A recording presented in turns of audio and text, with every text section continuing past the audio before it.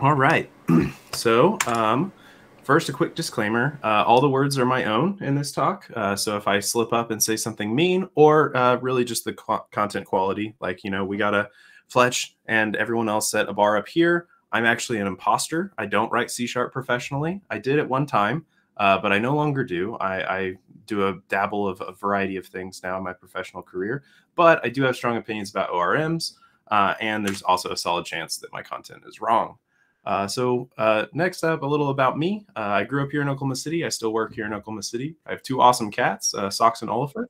Uh, they may make a guest appearance here in this video. I think one of them is napping in my background right now, so he'll he'll probably be a good cat the whole time. and yeah, we been a good good deal of stuff that I've done over the past few years. Um, I will say that C sharp is a great language. I enjoyed it a lot. Uh, just other jobs came along uh, for other opportunities. Uh, but there is one thing that every job I've ever had has had in common. They all need a database. And that's where ORMs come in, guys. We're going to talk about ORMs today. Uh, and then this is just a little slip in there. Uh, I want to see if you guys uh, have any strong opinions about these. Uh, so go ahead and prime your questions for these. We'll come back to all of this, but this is just something. If anything speaks to you, I would like to uh, to hear them in the Twitch chat, please. Um, so an ORM stands for Object Relational Mapping. This just means that we map SQL objects, which are relational, and you have you know foreign keys and primary keys to actual objects and code. So that way we can more easily both uh, read and view, respond in objects, and also manipulate them. So that way you can set properties and say like save changes instead of needing to think about, okay, how do I do an update statement in SQL Server? Oh, this is a Postgres table. How do I do an update statement in Postgres? ORM abstracts all of that. It's really nice. Um, but I don't think they're perfect. And here we just have a little bit of a sample of here's what a user demo table would look like and here's what the ORM entity framework would let us operate on. So this isn't all the like boilerplate code, but this is the object that you would actually use when you're interacting with the database. Uh, and so, yeah, they make it really easy to read, document, and actually talk about our database objects. That's where ORMs are like the shining beacon in the sky. Um, I don't think anyone's going to fault them for this. Uh, it's so much better to actually deal with these objects. We can make LINQ queries on top of them instead of having to do uh, nitty gritty SQL queries. Like I had to look up the the like statement. I didn't know if it was the same in uh, MS SQL and Postgres, and they seem to be the same thing. I'm sure you guys can tell me how I'm wrong and that they're not actually the same query, but we'll we'll leave that as an exercise for the reader uh, in the later arguments. Um, so this is actually a live query from one of our systems uh, that I work at at my job. Uh, they, you can see that that's not exactly the most readable thing in the world. Uh, if we have an ORM object, we can actually just operate on top of the object instead of needing to see all of the SQL. So that's from one route endpoint. So at an API at work, generates all of those statements. Uh, it was difficult to get them into a screenshot, so uh, you, will have to forgive me for how small it is. Um, another thing that ORMs really protect you against is SQL injection. Uh, that that's a big problem uh, for anyone who's developed an external API you need to clean your inputs, you need to sanitize, and you need to parameterize everything.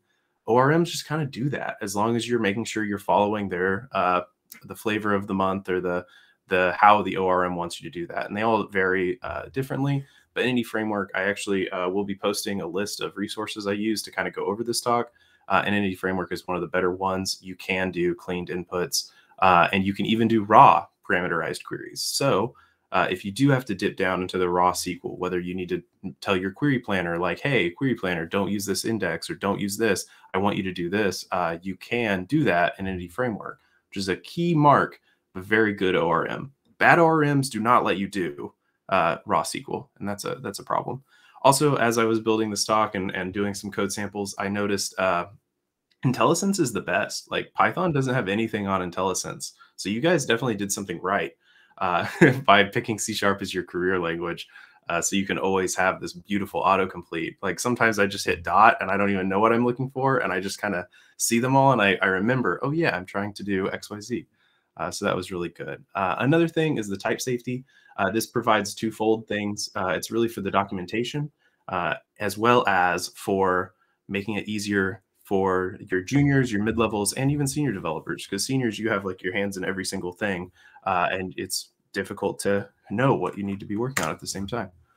Um, so here's the ugly, and I kind of alluded to this at one of my earlier comments, is that the code first uh, is is something that a lot of people like. Uh, here's my first hot take: code first is not the way to go, uh, and the big reason is because no nothing else integrates to it.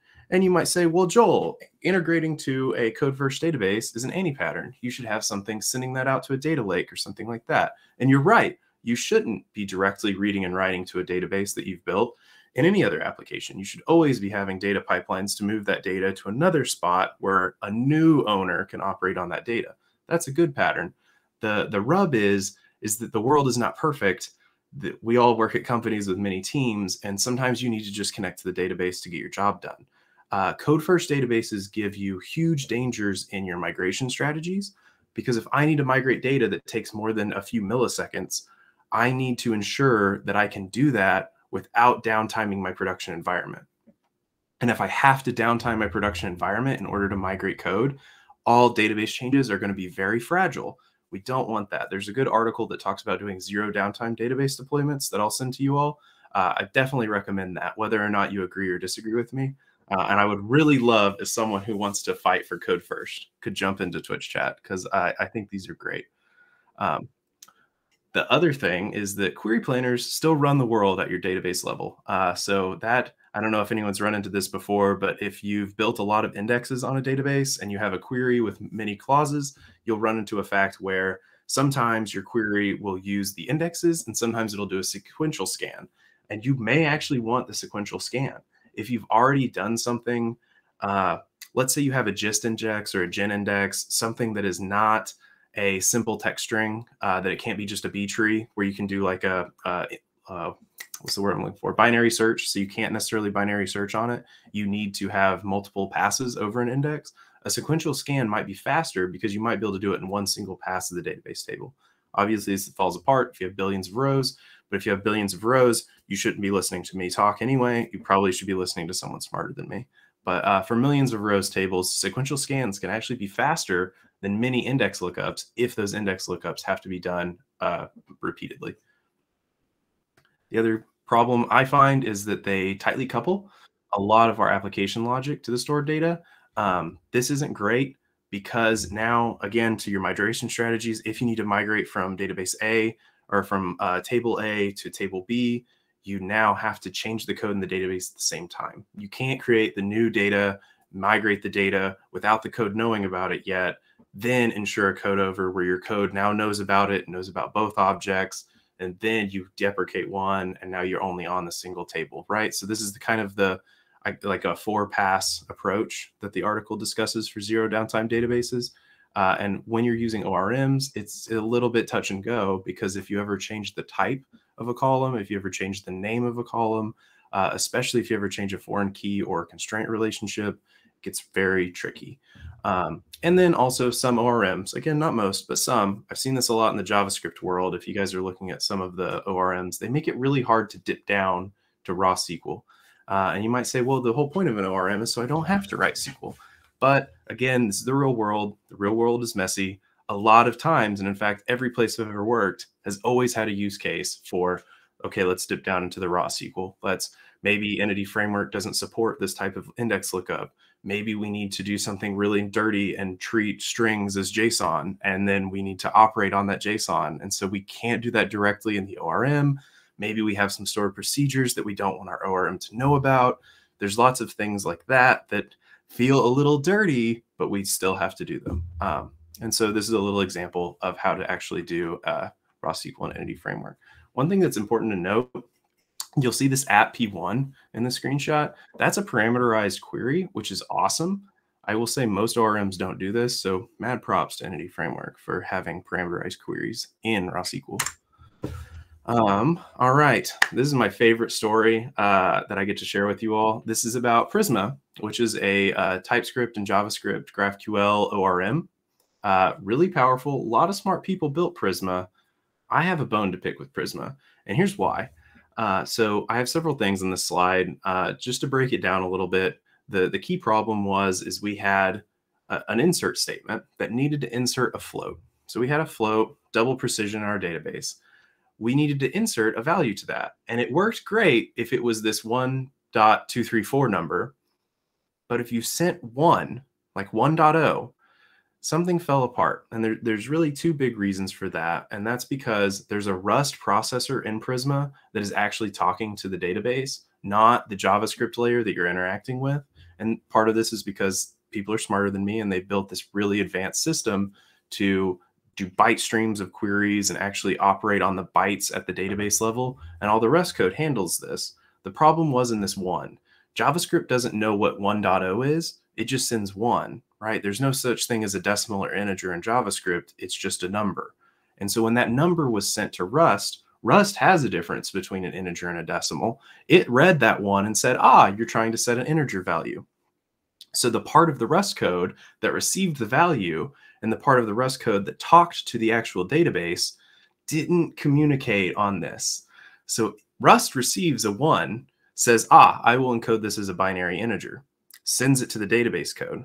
The database code says, I need to prepare an insert statement with this parameterized value into this column of this name.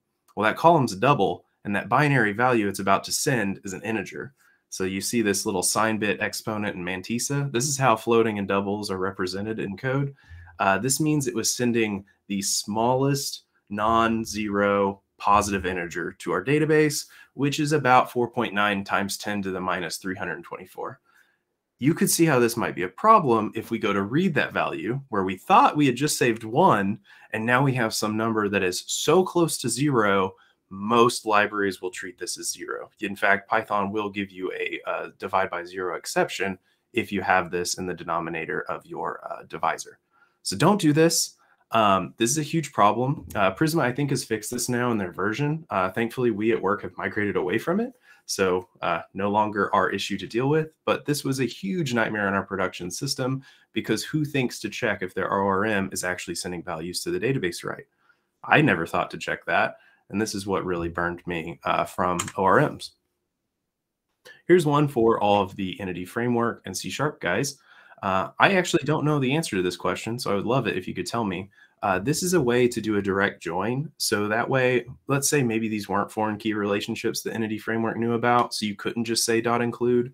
Uh, and this is a really nice syntax. And when I worked in C Sharp in 2016, they didn't have this uh, as beautiful of a LINQ syntax. I felt like I had to do it with unions and, and withins, and that one wasn't as pretty. I didn't enjoy that.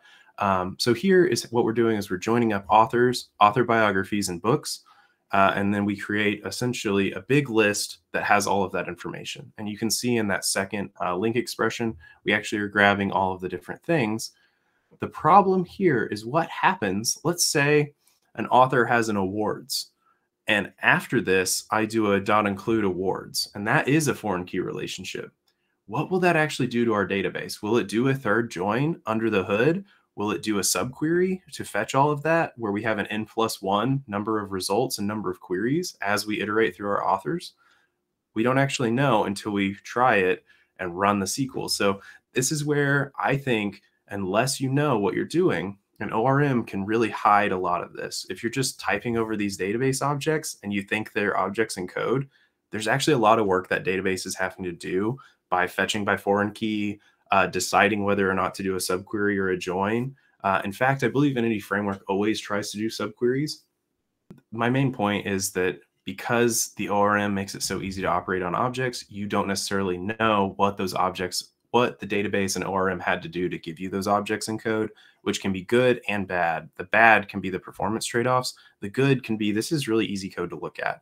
Uh, for me to write out a database inner join uh, and do all of that is fine. It would look very similar to this, but now I don't have the ability to say, oh, I want to include their awards or their their favorites or their prices, right? Because right here I don't have a price for any of these books. I just have book titles. I don't have a year it was written. I don't have any other metadata. Uh, and so it, it, makes it easy to expand your queries in Entity Framework, but it does make it a little scarier because you can do a, a dot include or a, uh, a, a, dot um, property name, and all of a sudden your query execution goes to poop. So uh, you, you don't want that. So, but thank you guys for having me. I know I burned through that really quick, mostly just because I uh, wanted to get to the discussion parts. Uh, I want to see if there's anything I can learn about C sharp. I did like writing it. Um, it was cool, a little bit more object oriented than I remember. Like it's very hard to have a pure function. Like you almost always have to have a service class to have your functions inside. So kind of hurt me as the resident functional guy. But yeah, um, Fletch, do you have anything off the top of your head that you want to talk about? Oh yeah, let's hear it. I want to get into it.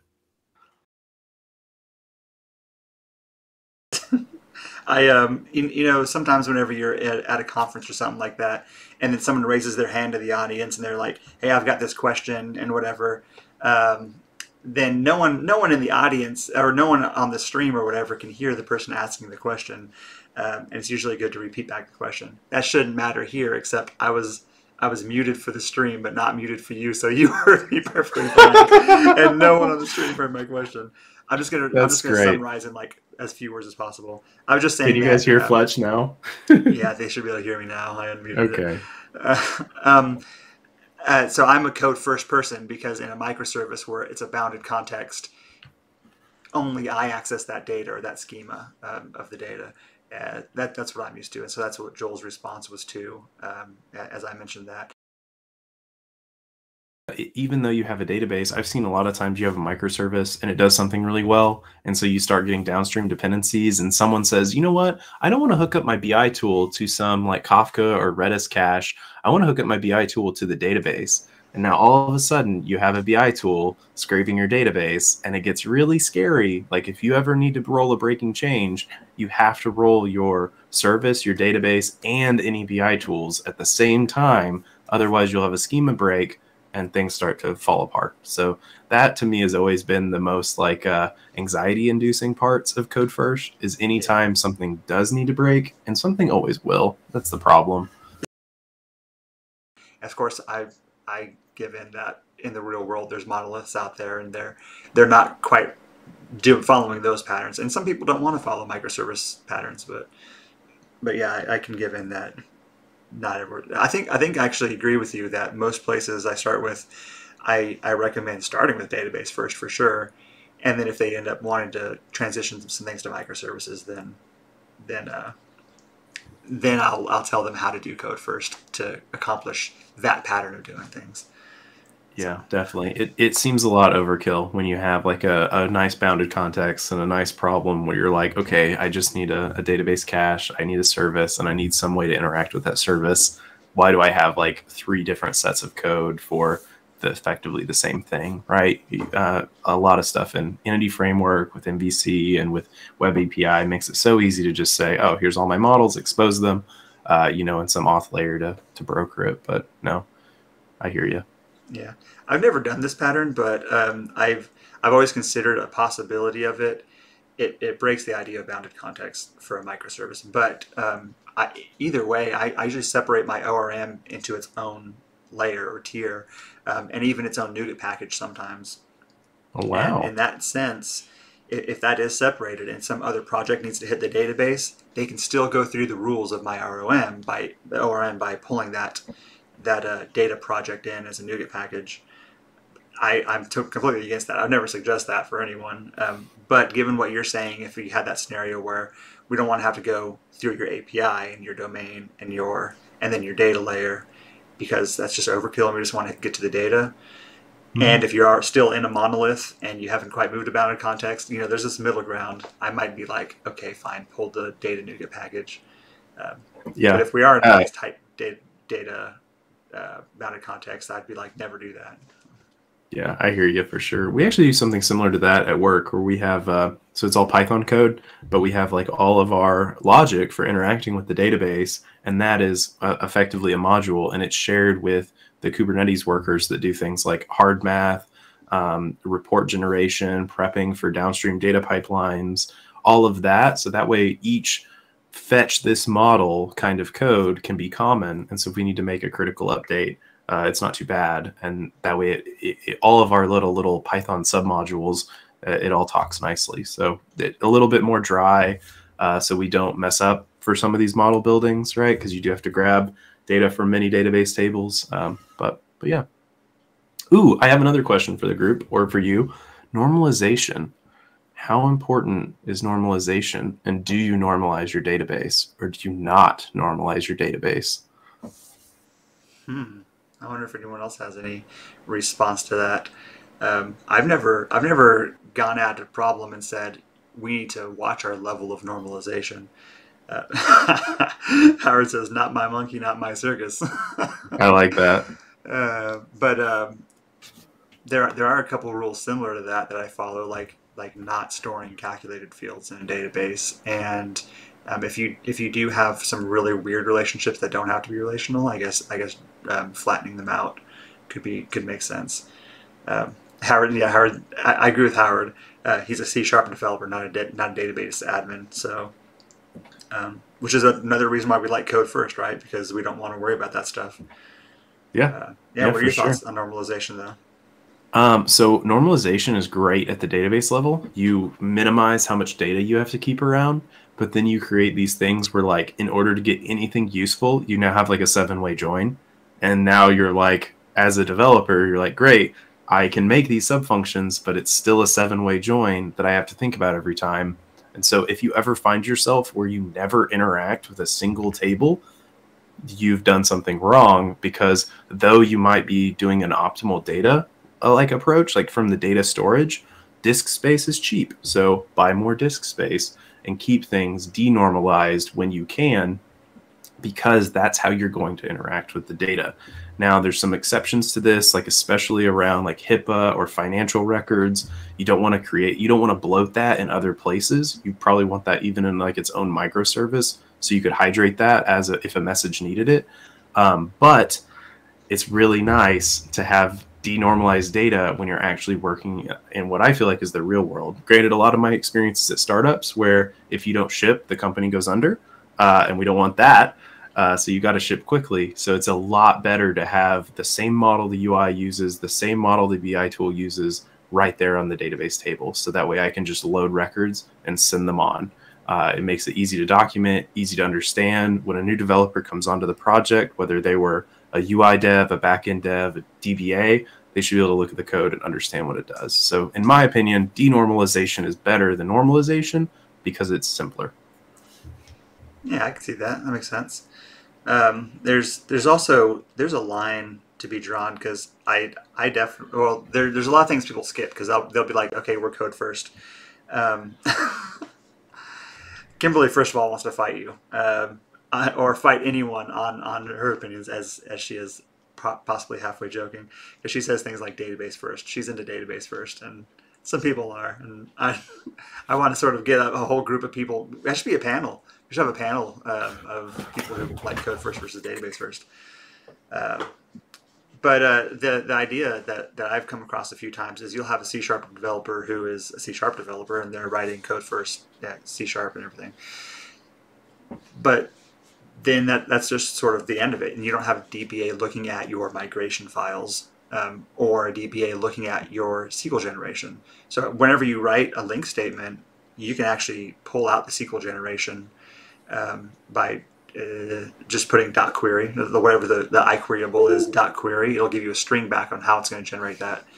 And I yep. think that, that it should be common that a developer takes that and gives it to a DBA and says, this is a query that I've, I'm going to be using if it were easier, you just say, I've checked in code, here's my LINQ statement, have a DBA look at it. But DBAs don't know what LINQ statements are going to do, especially complex one.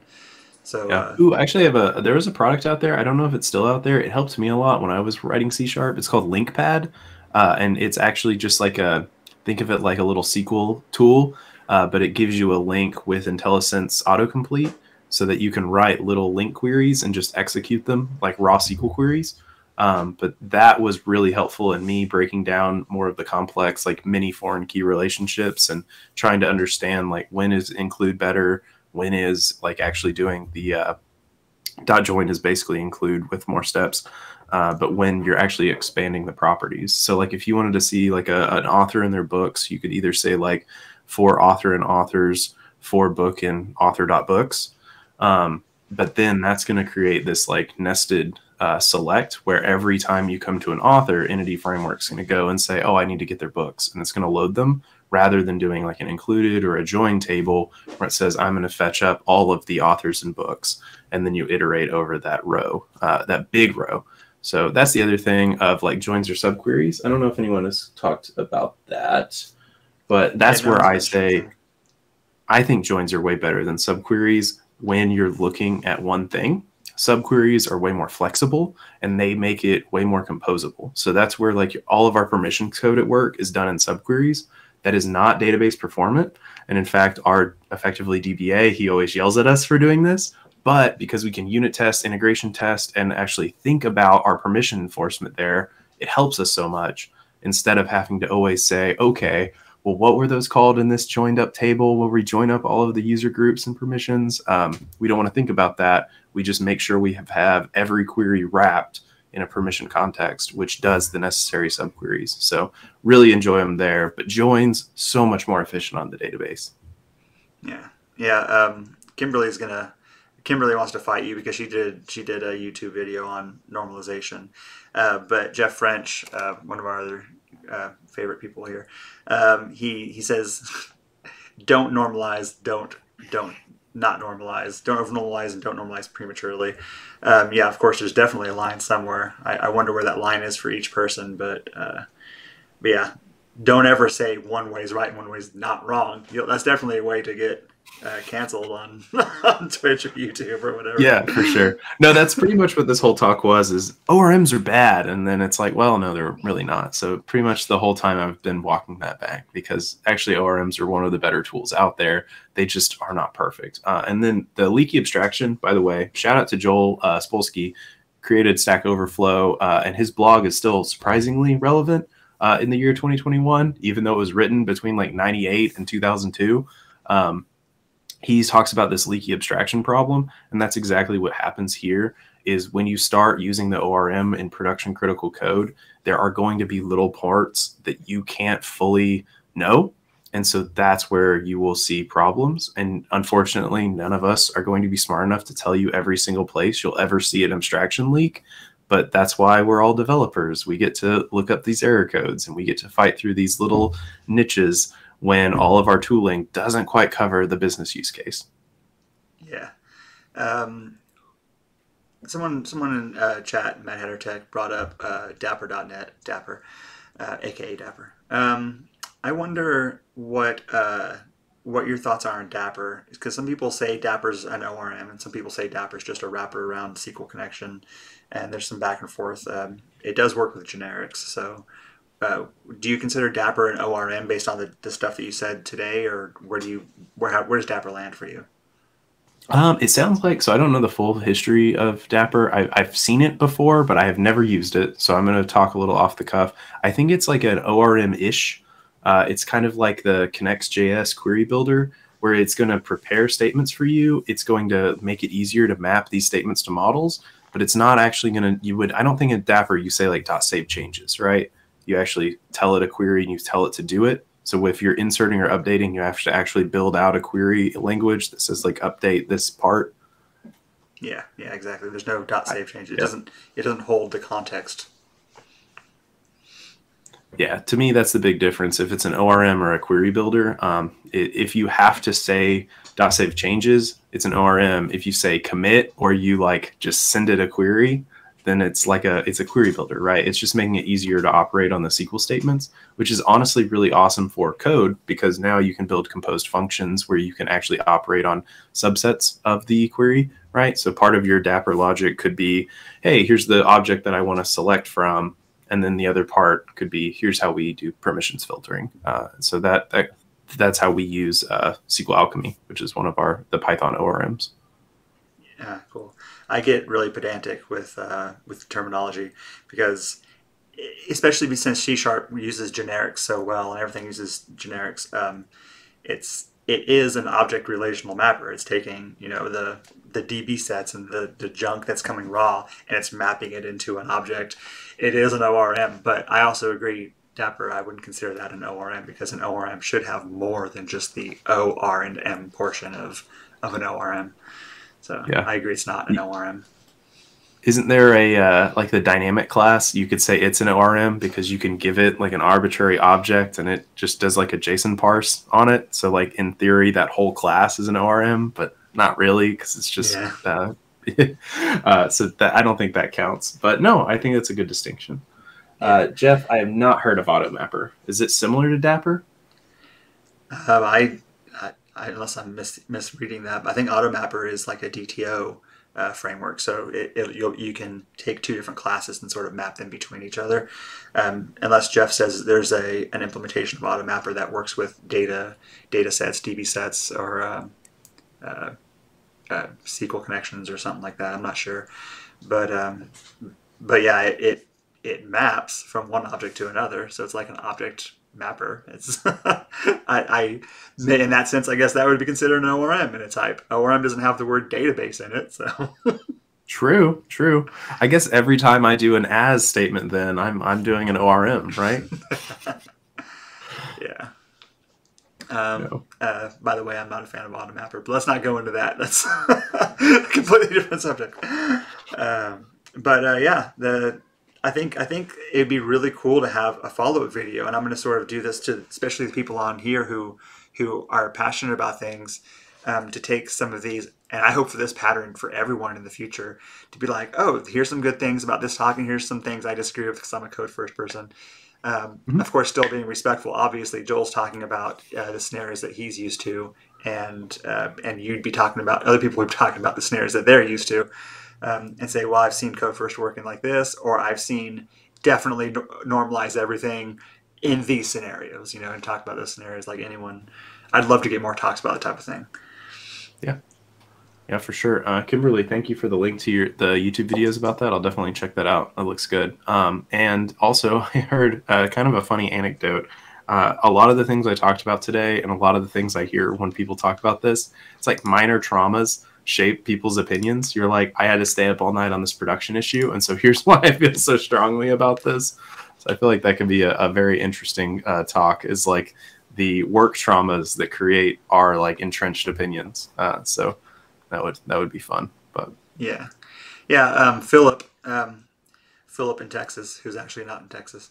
Um, he has a he has a uh, little statement. He said, um, "Normalized tables and then use views to flatten and denormalize them, uh, and then maybe consider different ETL database for over denormalization. So I, I, I, think it makes sense. I've, I've seen some patterns, especially for you were talking about reporting a few different times here, um, such that you have your uh, your bounded context context for your microservices, but there's also some ETL going where those going on where those are always sort of pushing into sort of a reporting database and then you can run a lot of these things against reporting databases. And that's usually the scenario that i see where i have to give in where i'm like okay let your thing over here just directly look at a database that you don't own. It's almost always for reporting. Um, and so in that case having having like an etl of these different data structures where you think it's important etling into um, a reporting database um, is it's a pattern that i've seen that sort of helps you justify bounded context. Um, or you know, I control my data, you don't touch it. Um, yeah. But that's. But I think he was talking mostly about normalization and, de- and denormalization. Uh, I think that's a good. I, I like that pattern, especially for BI tools. I think where it starts to get a little tricky is when you, if your model's changing often, now you may be changing how you're denormalizing. Um, and so you have like the uh, effectively like a, a, caching problem where now you're you're building another DB, but it's effectively a cache for some BI reporting tool, uh, and now you're you're having to manage two DBs instead of one. So if your schema is relatively strong, it's awesome because you can defer a lot of load to an actual like data database or a, sorry a reporting database instead of using your primary application model database. But if your application is is churning and iterating, then now you're doing a lot of rework just to push some execution cycles away from your actual like uh, data itself. So yeah. I, I think that's a really good tool for more stable domains. I don't think it's as good for we're in the startup world and we're not sure what we're going to do next year. So that's that's where I spent a lot of my career. yeah. That that's a scary thing. The startup world, like the real startup world, like we're starting a business today, uh, is it's really hard to to say I'm, we're going to do these principles, like any principles, anything that I come into when I come in the picture, and like we're going to mature your system. You can't really mature a system from day one because that's not how maturity works. Uh, right, because day two you have to rewrite how your user auth works, right? Kimberly uh, just, yeah, Kimberly just uh, coined the term trauma-driven development. Yeah, I think that could be its own talk, uh, both serious and lighthearted. yeah. All right. Um, yeah. If anyone else, else has any questions, go ahead and throw those into um, the Techlahoma uh, Twitch, and uh, otherwise, actually on our Slack. Um, and again, if you if you're not in the Techlahoma Slack, you can go to slack.techlahoma.org. We'll probably be on this call for a little while longer. Uh, I may be shutting down the stream here, um, but yep, thank you, Kimberly. Um, but um, I'll be posting the link to this actual meet that I'm in it's been on the screen the whole time. I'm surprised no one has stream sniped us. Um, I'll, I'll, go ahead and put this link inside the Slack, and uh, and then you guys can jump in the call and uh, go ahead and chat with Joel and chat and ask him any questions that you want to ask him. You got any closing remarks or any other things, Joel? No, thank you guys for letting me uh, talk. I hope you had a little bit of fun on your lunch hour. Uh, and then, yeah, I'll send the references to the Slack channel because that'll probably be the easiest way to, to view them. Some good articles uh, in there, actually. So uh, I recommend you guys look at a few of them. But yeah, thank you again. All right. Thank you, Joel.